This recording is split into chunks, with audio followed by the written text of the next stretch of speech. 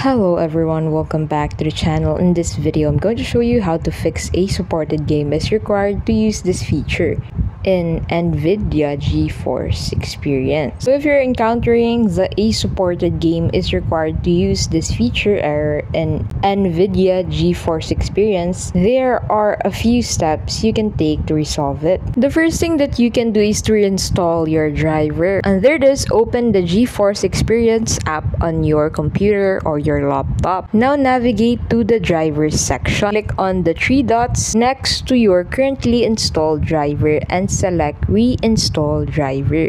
After installing the driver, check if the error persists when you open your game. Another method that you can try out is to enable experimental features. So in the GeForce Experience settings, look for the option to enable experimental features. Check the box to enable this feature. Sometimes enabling experimental features can resolve compatibility issues.